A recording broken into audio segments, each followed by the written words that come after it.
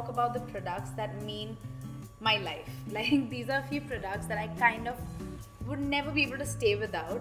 Uh, I don't know if I could ever live without them, and uh, I you must have seen me use most of these products in so many of my videos because frankly I don't think any of my makeup would be complete without these products.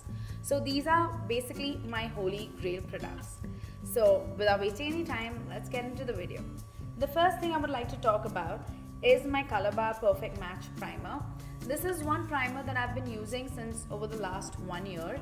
Uh, I have done a review on my channel about this primer wherein I have told you guys that I loved it. That was almost last year now and I'm yet stuck to it. So yeah, I don't think any of my makeup, like when I do like proper makeup with foundation or anything, can go without using this primer. The second thing I would like to talk about is my Studio Finish MAC uh, Concealer. I have spoken about this in literally all my makeup videos if I'm not mistaken. This is one concealer that I cannot stop using. I have tried so many different concealers but frankly I always come back to this one.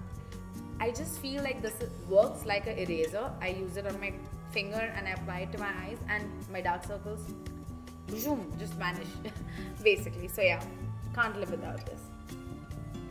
The third thing is my Inglot Cream Concealer that I use as my eye primer and as my nose primer sometimes.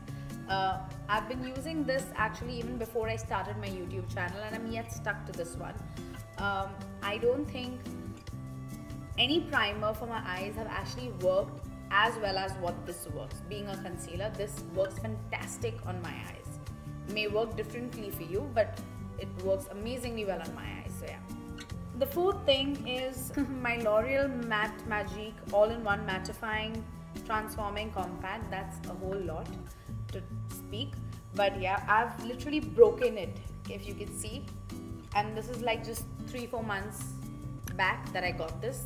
And it's broken and it's tortured. Why? Because every day is when I use this product normally when I go out to work, I just apply my concealer and I apply like a powder over it, and this is the powder that I apply over it.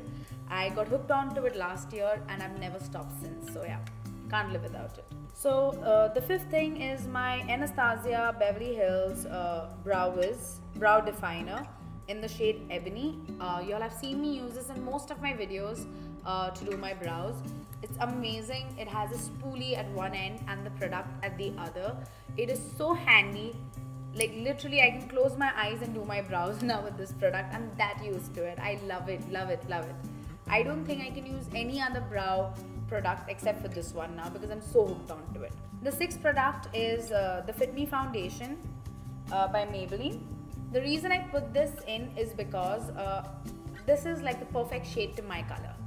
And uh, I have used such good foundations which have worked amazingly well on my skin tone. This is one foundation that is so reasonable and yet does wonders to my skin. So I believe that if you want to invest in something, if you have an option to invest in something less, then this would be the foundation that you should.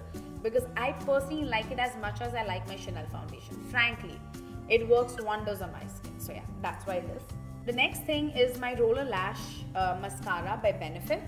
Uh, this mascara is literally my holy grail. I use it every time. This is like my third mascara in the last one year.